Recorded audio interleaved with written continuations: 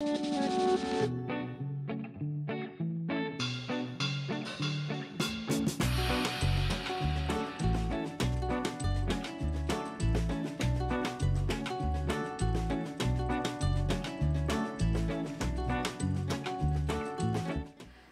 le bonjour à tout le monde, donc aujourd'hui eh bien on se retrouve pour une nouvelle vidéo. Et oui euh, c'est pas euh, la radio télé je sais pas pourquoi je dis ça évidemment c'est une vidéo.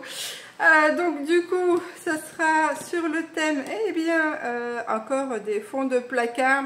J'avais une très grosse boîte. Alors quand je dis très grosse boîte je sais plus combien elle faisait au moins 500 grammes de légumes un peu comme vous savez comment ça s'appelle euh, un genre de Macédoine, mais euh, je l'avais acheté il y a combien? Il y a au moins deux ans, je pense. Oh oui, facile.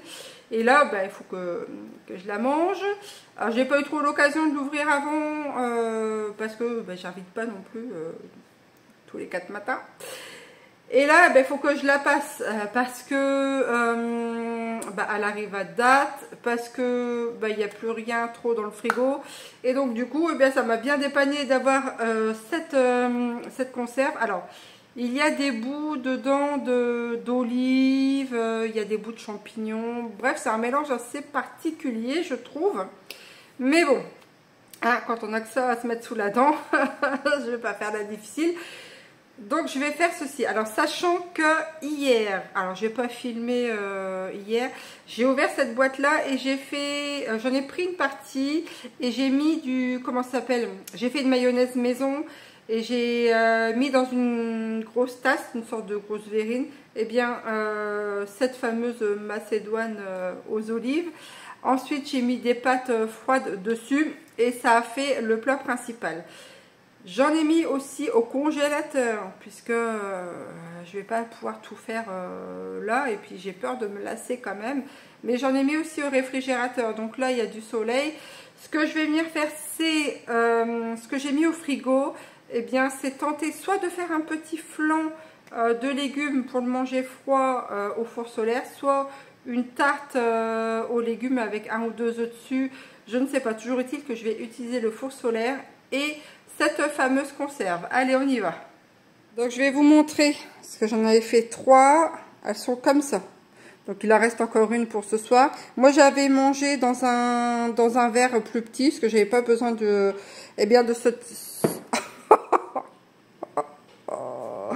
je bafouille. Je n'avais pas besoin d'un gros contenant comme celui-ci, voyez-vous? Donc voilà, ça c'est ce que j'ai mis au réfrigérateur et j'en ai mis une partie, comme je vous le disais, au congélateur. Voilà à quoi ça ressemble.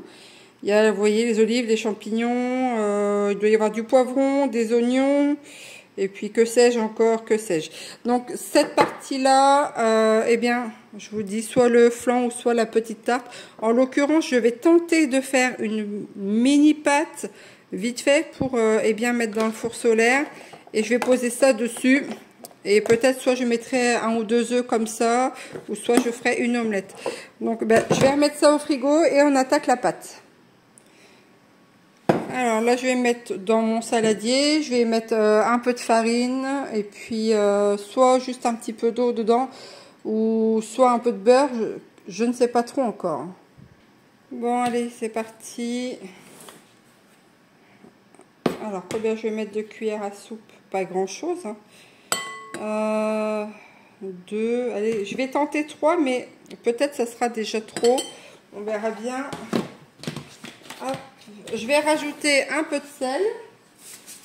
Enfin, alors ça c'est du euh, sel de Noirmoutier, sel fin, 100% naturel. voilà, voilà. Allez, hop. Ça coule pas énormément. Allez, tac, ça c'est bon.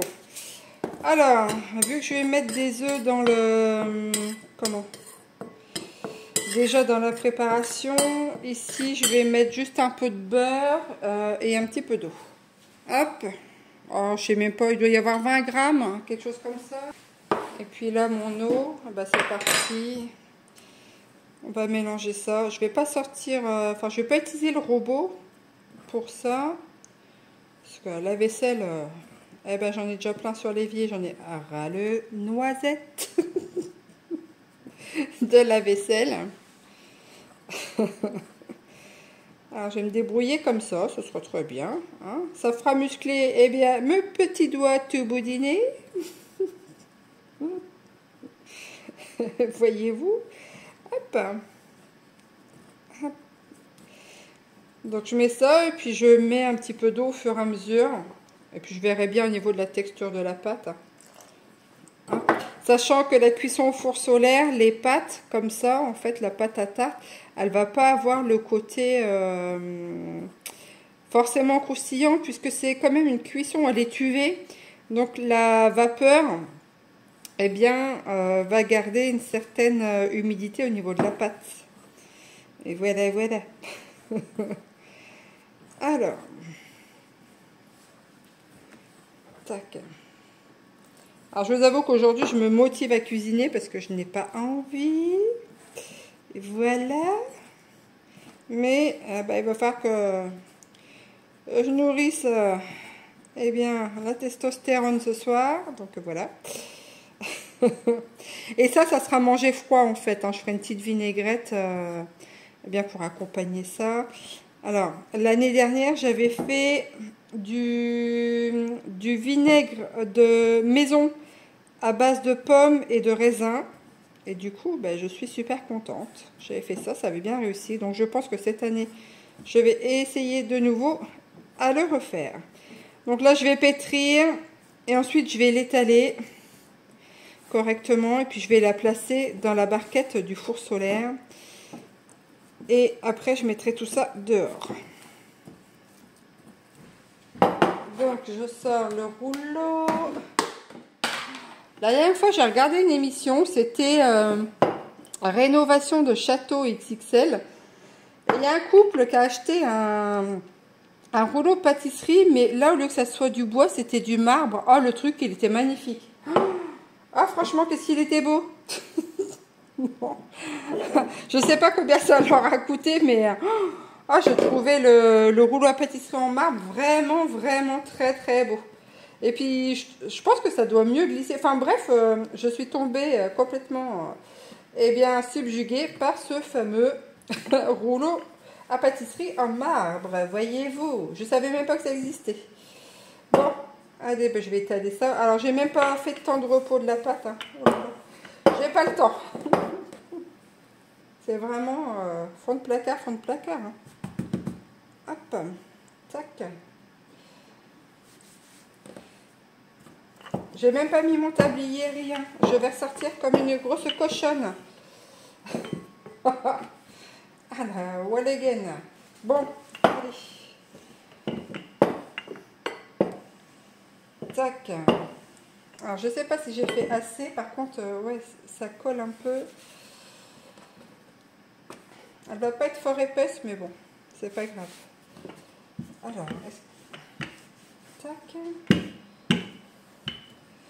Faut qu'elle soit quand même assez longue parce que la plaque est quand même euh, comment la plaque du, du, four solaire elle est longue. Alors même si c'est pas esthétique c'est pas grave ça se mangera. Oh là là alors je vais tenter comme ça je vais chercher la plaque je vais laver les mains avant bon la plaque c'est celle-ci alors pour ceux qui n'ont pas vu euh, le four solaire que je possède, il y a des vidéos euh, eh bien, où il y a une présentation de ce four solaire là. Donc là, je ne vais pas refaire euh, eh bien, une vidéo de présentation. Mais voilà, si jamais ça vous intéresse. Ça, c'est le papier cello. cello, mon n'importe quoi. le papier sulfu eh bien, que je garde, voyez-vous. Je vais le mettre là et puis ben, je vais tenter de mettre ça là-dedans.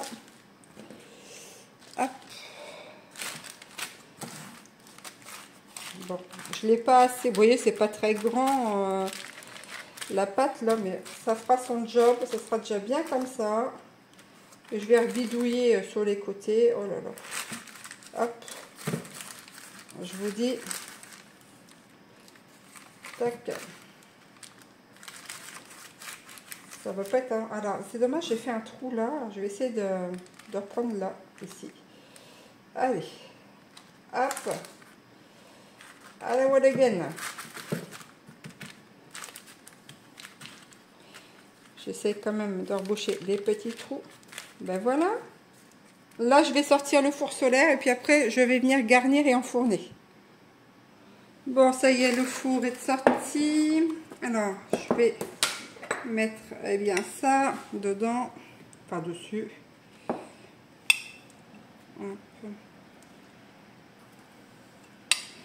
Et je vous dis, ben, ça je le mangerai froid, enfin on le mangera froid tout du moins, avec une vinaigrette. Voilà, ni plus ni moins. Alors, comme j'ai pas fait de rebord là, si je fais une omelette, ça va dégouliner. Alors, comment je vais, eh bien, faire? Oh, Je vais quand même faire une, euh, comment? Une sorte d'omelette dedans. Tant pis si ça passe là-haut. De toute façon, il y a les rebords ici. C'est pas grave. Je vais pas m'arrêter pour si peu. Voilà. Tac.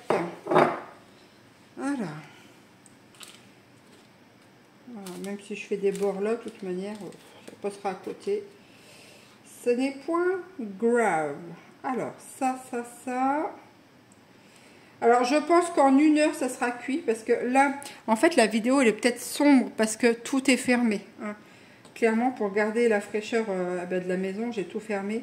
Mais je vous assure que là, euh, il fait... Euh, au moment où je fais ça, il fait vraiment un soleil terrible. Donc voilà. Alors, c'est pareil, il me restait des pâtes ben, froides. Eh ben, je vais les coller là-dedans aussi. Allez, hop. Zou.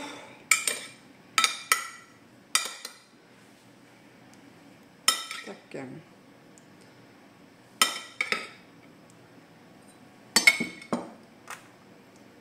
Fais attention ce que tu fais.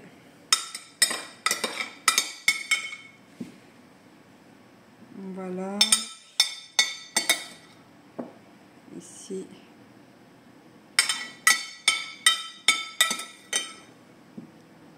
Hop.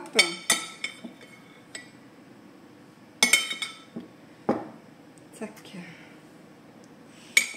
Ça, ça va aller là. Euh, je vais en mettre deux. Allez, hop.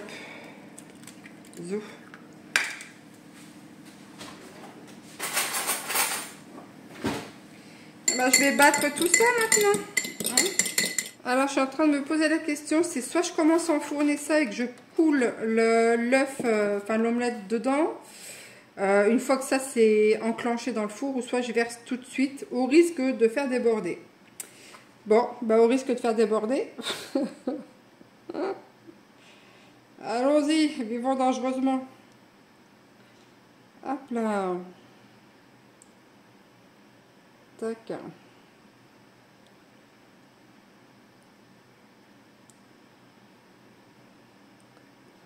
Voilà, et maintenant je vais aller l'enfourner. Donc là, je vais faire une mousse au chocolat. Là, c'est les blancs d'œufs que je garde. Euh, euh, voilà, je mets de côté. Et donc, du coup, je vais l'utiliser pour faire une mousse au chocolat. Alors, pardon, ici j'ai déjà préparé, mais il y a 50 grammes de chocolat, vous voyez, et euh, un peu de matière grasse, voilà.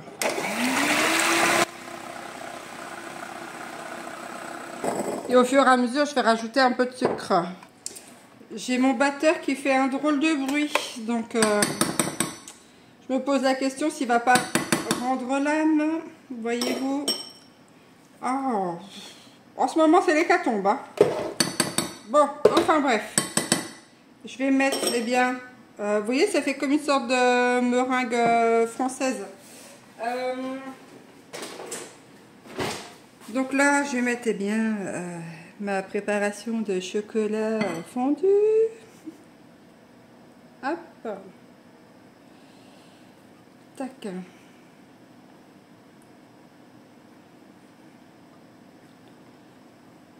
Voilà. Ah Voilà relécher tout ça parce que... Faut pas en perdre une miette.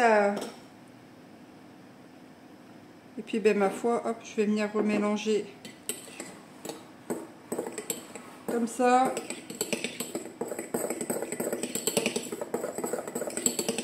Vous voyez, elle est pas là, mais bon, j'ai pas beaucoup de chocolat, donc euh, ce sera déjà bon comme ça, hein? Avec les moyens du bord. Alors, j'ai du cacao. Attendez, je vais peut-être mettre du cacao. J'ai du cacao en poudre comme ça. C'est non sucré, mais bon. Hop, de toute façon, avec le sucre qui est déjà, oups, déjà dedans. Je vais tenter ça. voilà. Ça a la again, hein?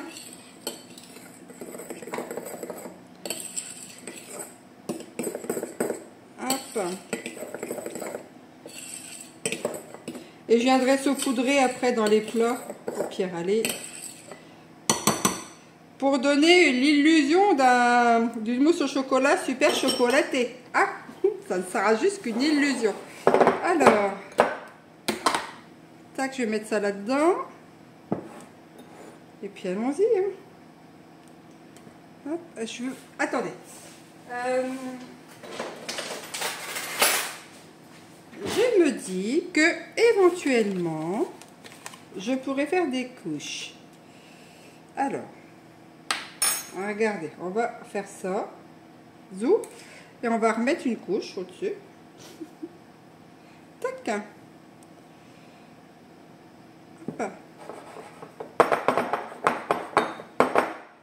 Et puis une petite coucouche. Voilà. Ben voyons. Hop. Allez.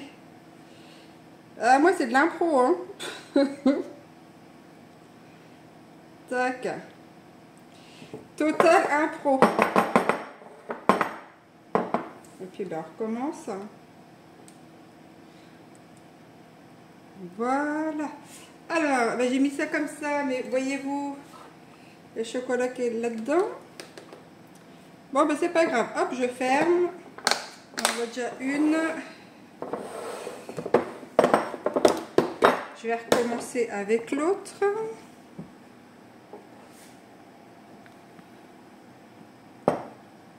Voilà. Ce ne sera pas la reine de l'esthétique, mais euh, ça devrait être bon. ah, il y a des fois, je vous jure. Bref. Eh ben, on va recommencer la même chose, tiens.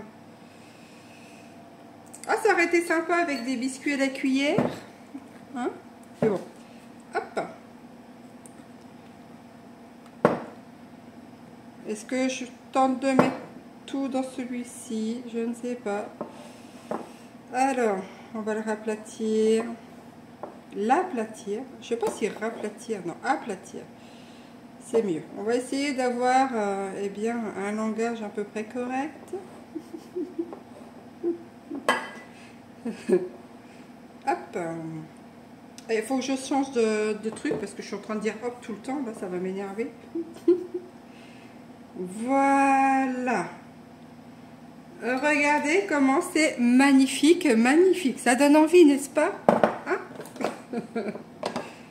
Et de deux. Et voilà de trois. Zou, allons-y gaiement. Alors là, celle-là, je pense pas faire de... Eh bien, de double étage. Je vais juste en mettre sur le dessus. Ça sera parfait comme ça.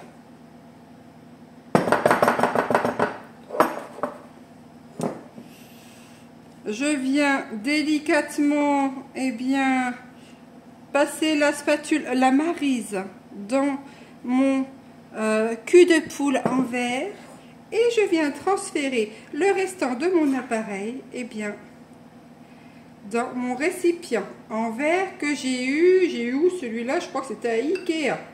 Voilà. Hop. Et en même temps, eh bien, je viens lécher les bords. Et je viens saupoudrer à l'aide eh bien, de ma petite passoire toute fine, toute fine, au-dessus de ma mousse au chocolat où il n'y a presque pas de chocolat. je peux me recycler dans les grandes industries. Voilà, voilà. Alors, ça nous fait eh bien, euh, ceci. C'est déjà pas mal. Avec euh, alors, combien il y avait là-dedans? En blanc, en blanc, il devait y avoir 4 blancs, je pense. En sucre, bah, je sais pas, j'ai pas calculé. En chocolat, il y avait 50 grammes. Plus, eh bien, un peu de beurre. Beurre, combien il y avait? Euh, Je sais. En fait, j'ai mis au pif le beurre, donc je peux même pas vous dire. Et puis, eh bien, le cacao. Euh, pour pâtisserie et boissons chaudes de chez Nestlé. Voilà, ça c'est quand j'avais encore un peu de denier pour pouvoir acheter eh bien, cette marque. Sinon, à que nini. Ah, c'est devenu de l'or. Bon, je mets ça au réfrigérateur. Bon, on va passer à la suite. Alors, j'ai mis à tremper du riz puisqu'il me reste des champignons. Donc, le riz a été lavé, là, il trempe. Et une fois que, comment, la tarte aux légumes, là, au four solaire sera cuit, eh bien, je viendrai faire cuire le riz. Donc, en attendant, voici les petits chapipis qui me restent. Eh bien, je vais venir découper ceci et ça accompagnera, eh bien, le riz. Alors, figurez-vous, alors là, je coupe bien mes champignons. Et figurez-vous que j'ai reçu un appel, eh bien, de Mozart. Hein, vous connaissez tous Mozart, c'est un grand virtuose. Eh bien là, c'est le Mozart de la virtuose euh, des finances qui me disait qu'il avait rencontré un petit souci puisque en fait, il avait un certain budget hein, pour euh, commander eh bien, une boisson de fine bulle. Eh ben, il a explosé le budget, hein, il avait plus de sous, et puis eh ben, il a fait des emprunts. Et du coup, il m'a demandé s'il pouvait venir manger à la maison. Alors, ben, je lui ai dit, oui, hein, Mozart, euh, il n'y a pas de souci. Donc, c'est pour ça que je prépare eh bien, un risotto de truffes blanches. Vous voyez, c'est des truffes d'hiver qu'on a eu en été qui viennent tout droit eh bien, de la région inconnue et secrète d'une partie du Périgord. Voilà. Donc, euh, ces belles truffes blanches vont venir accompagner eh bien, mon riz qui vient tout droit de Basmati. Voilà, voilà. Donc, j'espère que ça va plaire à Mozart parce que franchement, je me donne du mal. Et que grâce eh bien, à mon petit geste de le nourrir, eh bien, il pourra rétablir les finances et les cordons de la bourse. Voilà, voilà. Donc, eh bien, je vais venir couper, émincer mes petites truffes en carré. Et puis, quand le... Comment euh, quand mon flan sera cuit, ça, je viendrai le faire cuire au four solaire avec le riz. Voilà, voilà. Le riz, eh bien, qui a été lavé et trempé. Voyez-vous, il est en train de tremper. Comme ça, eh bien, la cuisson sera moins longue. Il a été lavé parce que, ben voilà, hein, il paraît que dans le riz, il y a de l'arsenic. Donc, euh, on va éviter de s'empoisonner encore plus. et donc, du coup... Euh, euh, voilà, et puis euh, bah, après le riz ira en cuisson à l'étuvée dans le four solaire à une température, eh bien, cuisson extrêmement lente de 30 degrés, puisque plus la cuisson est lente, puis plus les saveurs eh bien, euh, de ce plat vont être relevées. Voilà, voilà. Alors, dans le riz, je vais ajouter aussi des paillettes d'or, hein, histoire d'impressionner un peu Mozart et euh, eh bien qu'il ne soit pas dénaturé hein, quand même, parce que bon, quand il est habitué au luxe, Mozart euh, se avec seulement des pauvres petites truches blanches du Périgord et quelques petites bouts de paillettes d'or dans son riz, eh bien, je ne voudrais pas qu'il soit dépaysé, voyez-vous. Alors, je continue ceci, tout simplement.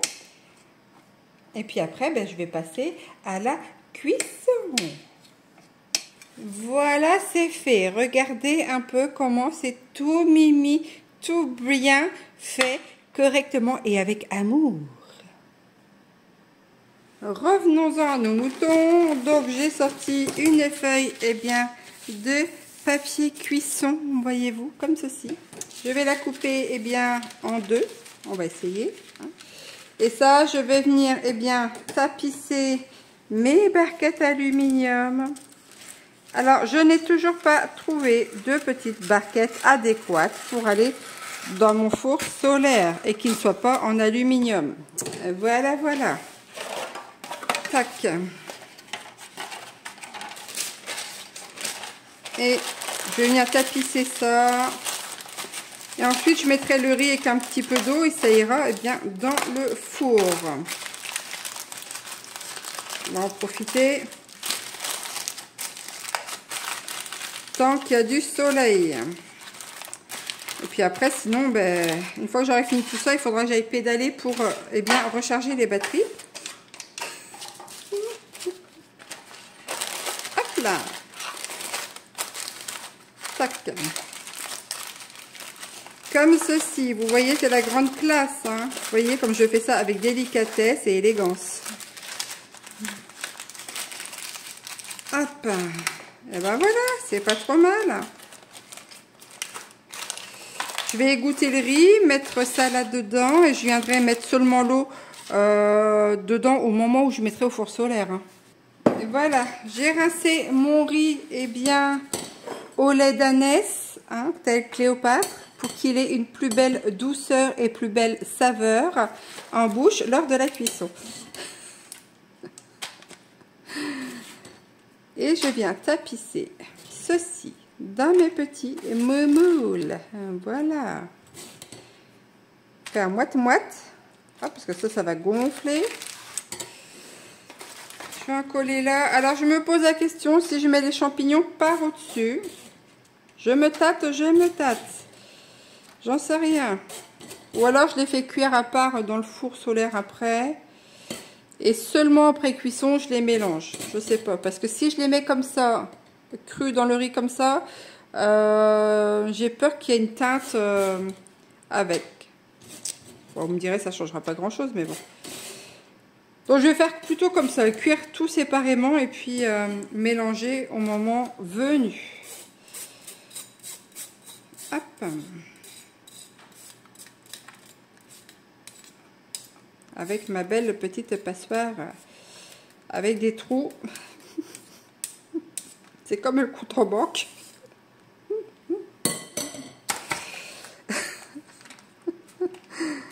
Hop là.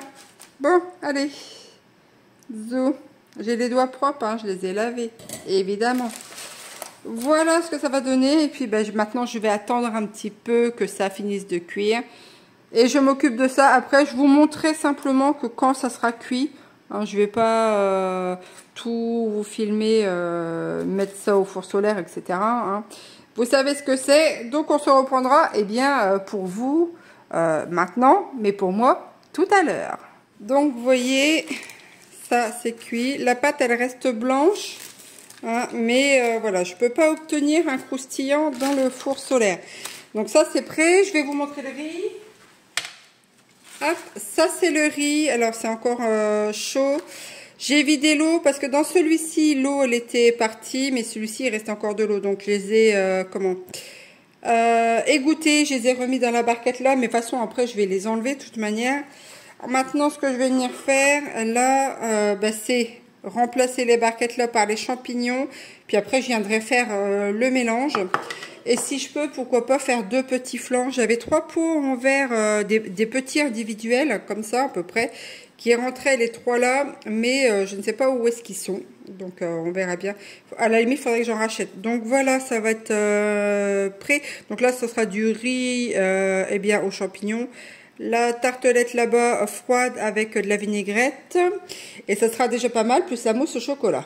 Donc là, je vais transférer... Alors, Essayez pas trop me brûler. Hop Tac. On résiste à la chaleur. Youp là. Voilà, voilà. Donc là, ben, je vais mettre les champignons. Je vais laisser que euh, euh, une barquette, simplement. Ce sera suffisant. Hop, je réutilise. Et là, je vais aller remettre eh bien, euh, ça au four solaire. Tadam Alors, donc, petit récapitulatif, là, donc c'est le riz qui va être euh, servi, alors, avec un restant, euh, vous savez, c'est le restant de sorte de macédoine, là, je vous ai montré. Voilà, ça. Alors, je vais pas en faire une grosse grosse salade parce que ça fait beaucoup, mais un peu de riz mélangé avec ça, ça fera un truc euh, frais. Et puis le restant qu'il y aura de ça, je ferai des bruschetta avec le pain. Voilà, il me reste du pain là, donc je couperai des tranches. Je mettrai de ça dessus. Et euh, je passerai soit au four solaire, soit à la poêle. On verra bien. Alors, et puis euh, avec le riz, euh, je pourrais faire aussi des boulettes, par exemple. Des boulettes de riz, comment, ou alors une omelette au riz, peu importe. Ensuite, il me reste de l'ananas. Voilà, alors j'en ai encore même pas mangé un morceau. C'est mon compagnon qui les mange. Le problème, c'est que je rêverais de pouvoir en manger. Mais à chaque fois, ça me brûle les gencives et ça me brûle l'estomac. Donc, euh, bah, exit pour moi. Là, c'est la petite tarte qu'on a faite. Et ça sera accompagné, en fait, de vinaigrette à la fleur de sureau. Alors, je l'ai faite euh, en mai 2020. Donc, elle a 4 ans. Mais elle est encore, euh, bonne, il n'y a pas de souci. Alors, ça c'est de la mayonnaise qui accompagnera eh bien la sorte de macédoinerie. Avec le restant de riz aussi, ça ce sont les petits champignons qui ont cuit au four solaire. Je vais les égoutter. Donc avec le restant de riz aussi, eh bien il y aura une poêlée de riz aux champignons. Alors, comme j'ai pas de crème fraîche, eh bien je ferai une, euh, une sorte de petite sauce béchamel, soit avec de la farine, soit avec de la maïzena. Et puis, euh, comment, des aromates pour accompagner. Euh, qu'est-ce qu'il y avait d'autre aussi? Là, il me restait un bout de gâteau au chocolat. Ça, je l'ai fait au four solaire aussi. Et là, j'avais mis des morceaux de... Comment ça s'appelle? Ah De... Comment ça s'appelle? La pâte, à, tartiner au, au cacahuètes Du beurre de cacahuète. Voilà. Merci. Et puis là, bah, c'est toutes les, toutes les mousses. Vous voyez? Donc il y en a trois. Et j'accompagnerai aussi avec, euh, je vais l'ouvrir. Bon, j'arrive pas à l'ouvrir, mais ça, ce sont des, des têtes d'ail des ours. Il n'y en a pas énormément, vous voyez, mais je les ai conservées eh bien dans du vinaigre et mis au frigo. Et là, ben, ça relèvera un peu les plats ou, ou mettre sur les bruschetta, ça on verra bien. Donc voilà pour toutes les préparations de fond de placard. J'espère que ça vous a donné éventuellement des idées. Enfin tout du moins, moi c'est ce qui me restait euh, ici. Donc voilà comment je les ai transformés et accommodés. Eh bien, cette vidéo rocambolesque touche à sa fin. Je vous souhaite à toutes et à tous eh bien, beaucoup de courage. Euh, que, vous dire de plus? Bah, Faites du mieux que vous pouvez. Hein. Et ma foi, on se retrouve euh, peut-être pour une prochaine euh, vidéo aventure. J'en sais rien. Voilà le travail. Bon, en tout cas, eh bien... Bah, j'espère que ça ira pour, euh, pour vous toutes et vous tous, sincèrement. Je vous dis à très bientôt pour de prochaines aventures. Allez, ciao, bye bye